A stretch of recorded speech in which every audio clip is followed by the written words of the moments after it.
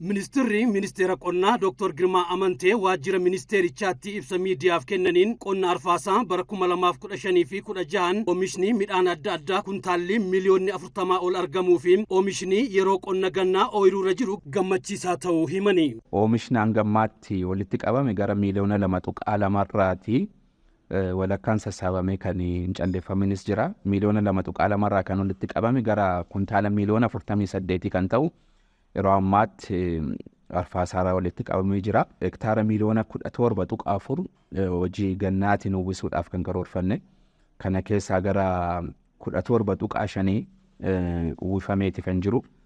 Isa kan akkuma kana dura kaasaa turre kan bara darbee wajjin awwaalaan lakkoofsi kun baay'ee guddaadha. Hoomaan hawwaannisaa biyyoota alaatii gara biyyaatti seene oomisha irratti miidhaa guddaa utuu hin qaqqabsiisin to'achuun akka danda'ame kan ibsan Dr. Girmaan Oromiyaa dabalatee naannolee muraasatti rakkoo hoomaan girrisaa oomisha irratti geessisu hambisuuf akkaataa barbaachisaa ta'een hojiin ittisaa hojjetamaa jiraachuu dubbatanii. Naannoo Oromiyaa keessumaa sulula qiinxamaa wajjin ol qabatee akkasumas naannoo giddugala Itoophiyaa kan haaraan uumame kana fi naannoo Amaaraa wajjin ol qabatee yeroo bal'inaan itti inni mul'atutti jira. Yeroo ammaatti iddoowwan amma tuqee kana hunduma isaarrattu uummannis gama isaatiin karaa aadaatiin ittisa geggeessaa jira.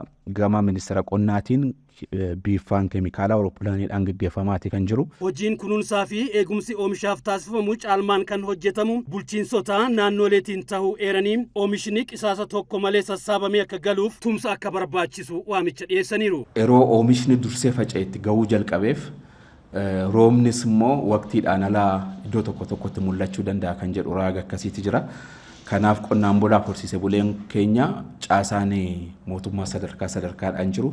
Oomishni ga'ee qisaasama tokko malee akka inni walitti qabamu akka inni sassaabamu gochuu irratti qaamni sadarkaa sadarkaadhaan jiru hundumtuu tumsa gochuuti kan qabu.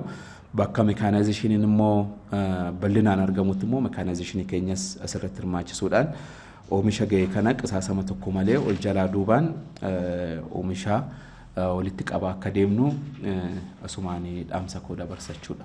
Qonnaa waqtii arfaasaa fi gannaa bara kuma lamaaf kudha shanii fi kudha ja'atti qonnaan bultoonni garbuu qamadii fi kanneen biroo kilaasteraan misoomsuun teekinooloojiiwwan qonnaa fi makaanaayizeeshiniitti akka fayyadaman gochuuf xiyyeeffannoo kennameen bu'aan argame waggootii darban irra kan guddate ta'us ibsa isaanirraa hubanneerra. Oomishaa fi oomishtummaan qonnaa akka guddatuuf bara kanatti xaa'oo adda addaa kuntaala miiliyoona digdamii sadii ol bituuf karoorfame keessaa jallisii bonaaf kan gargaaru kuntaalli miiliyoonni kudha sadii bitamee gara biyyaatti geejjibsifamaa akka jiru ibsa isaaniirraa hubatameera. Qophiin callaa guddistuus kan bara darbeerra guddaa akka ta'e eerameera.